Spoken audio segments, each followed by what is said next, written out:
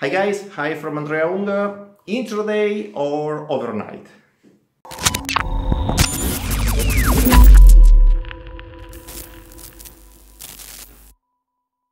Well, many traders uh, claim that intraday trading is better because uh, you can go to sleep with no, uh, no, no problems uh, and you don't have any, any fear of what your open positions could look like the morning after, if still in place. Actually, um, there are two different points of view. One is, depending on psychology, subjective, there are traders who are not capable of keeping open positions because they really have a bad feeling. They are afraid of keeping these positions open during the night. And in this case, they are compelled, if they want to trade, to find an intraday model to follow. Objective means uh, it depends on the market. There are markets uh, which are not the right place to be to trade intraday. All those markets with a limited dollar move during the day are not good enough because in the average results you will have, you are not covering your operational costs, which are commissions and slippage. Just an example. Um, back to the subjective. Um, the other problem is that many people try to face the two um, horizons with the same model, with the same approach. So they build strategies for the intraday based on the same approach they would do on longer term, which is not necessarily wrong, but sometimes it does not deliver the right results. One of the best traders in the world, Larry Williams, uh, is not a fan of intraday trading.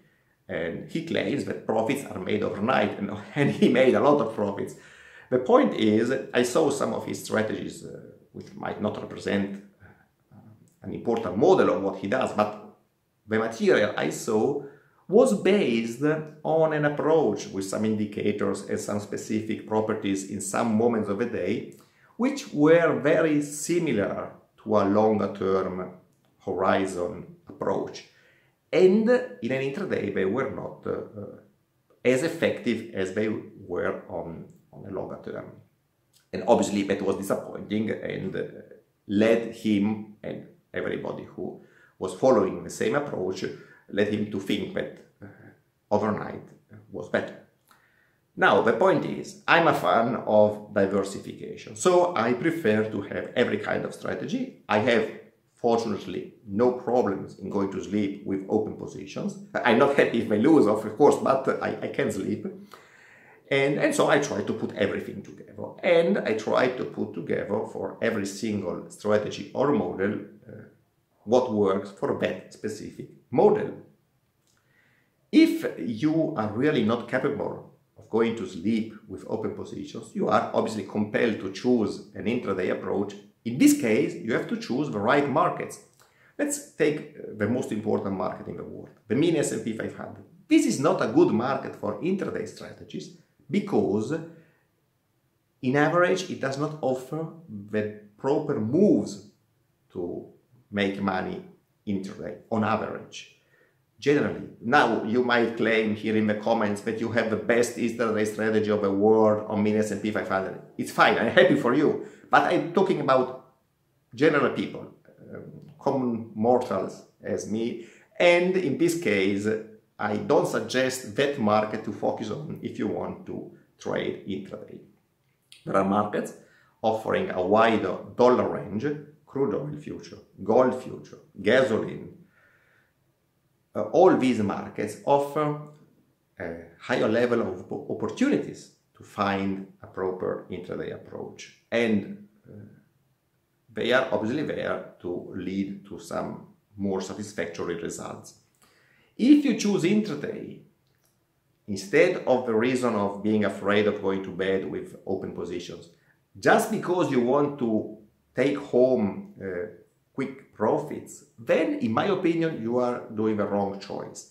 If you look for a hit and run and uh, fast and furious approach to take the money and run, I fear that you are one of those who might in the future cut profits and let the losses run, which is obviously the disaster for every trader. In that case, there is a wrong mindset to the choice of the time horizon of your trade. And in this case, I would say that intraday is the wrong choice because you are facing the matter from the wrong point of view. But as said, if the problem is keeping positions open, then what are you looking for? You are looking for intraday trends, moments of the day where the market is moving in a certain direction. Because again, if you look for the ping pong, you are probably looking for the hit and run, take the money, run, all these things which lead you to the wrong mindset. This is my personal opinion.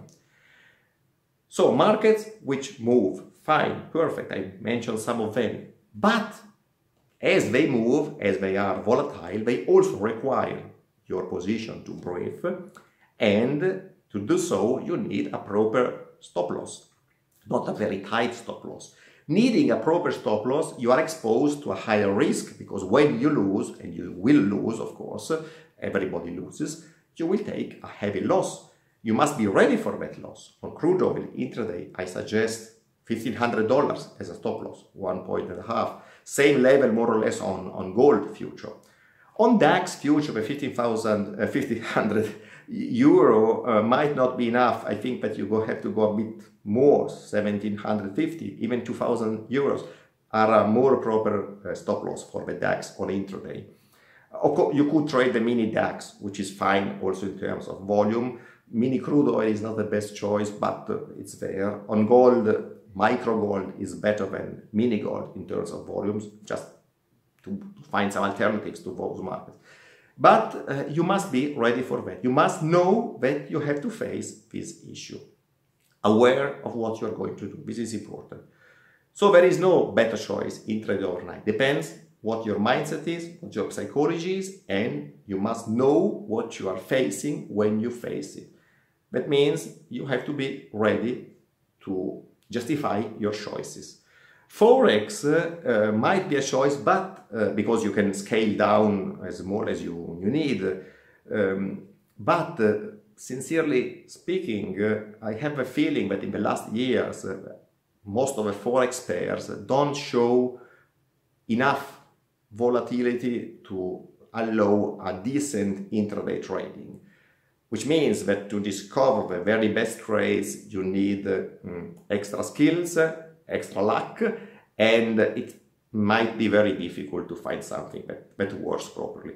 That's why for intraday, unfortunately, I believe that a wider level of stop loss is still uh, the, the thing that you need, which you don't like, but that has to be there. It's up to you. You, it's not good or bad. It's, is it good for you, bad for you? Be ready, to make the right choice depending on all the consequences that this choice is leading to. That's it guys, see you next week, ciao from Andrea Unger. So guys, uh, you enjoyed it? Um, I think so, I hope so. In any case, if now you, you feel you want to understand more about uh, automated trading, uh, to understand more about um, strategy development and everything that is concerned with this, I have this uh, link here where you can register for um, a workshop, an online workshop together, something more than one hour or so, where I will go in depth in strategy development topics so that you can get even more familiar with the whole matter. If strategy development is something you want to go ahead with, this is the link for you. Register, it's free, we meet you there and we can discuss about what it means to develop a trading system. See you there, ciao from Andrea.